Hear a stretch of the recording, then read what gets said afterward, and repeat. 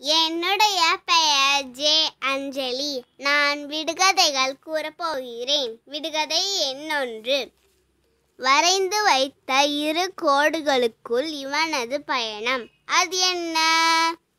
விடை ரயில். விடுகதை எண் இரண்டு.